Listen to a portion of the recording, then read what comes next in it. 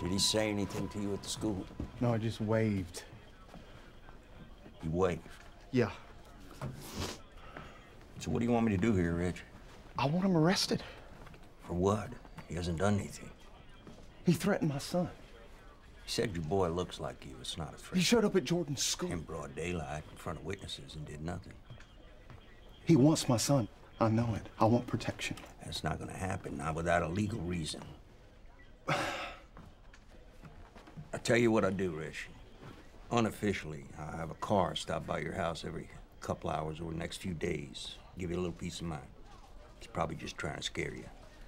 Don't let him.